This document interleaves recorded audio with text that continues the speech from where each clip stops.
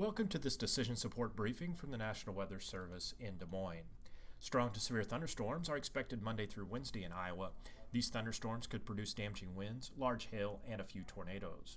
Tree and property damage could occur from these storms. Thunderstorms will also produce widespread rain, with amounts ranging from near an inch, with locally higher amounts near two inches possible. This additional rainfall could produce localized flooding and additional rises of rivers and streams. Today, there is a slight risk, a higher probability of severe thunderstorms in the area shaded yellow in south central and southwest Iowa. Damaging winds and large hail will be possible, with additional thunderstorms expected this afternoon and evening. On Tuesday, there is a marginal risk of severe thunderstorms producing damaging winds and hail up to the size of quarters across southwest Iowa. On Wednesday, there's a slight risk, a higher probability of severe thunderstorms producing damaging winds, large hail, and even a few tornadoes in the area shaded yellow, which includes portions of south central and southeast Iowa.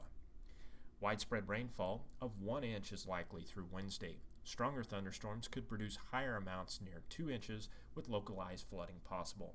Runoff will bring some rises to water levels in streams and rivers. So, in summary, Strong to severe thunderstorms are expected Monday through Wednesday in Iowa. These thunderstorms could produce damaging winds, large hail, and a few tornadoes. Monday and Wednesday pose the greatest risk for severe weather.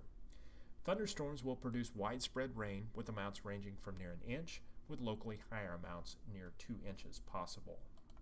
Stay up to date with additional outlooks and any severe thunderstorm or tornado watches issued by the Storm Prediction Center by viewing their website or for information on the forecast and any warnings issued, please visit the Des Moines National Weather Service website at weather.gov slash Des Moines.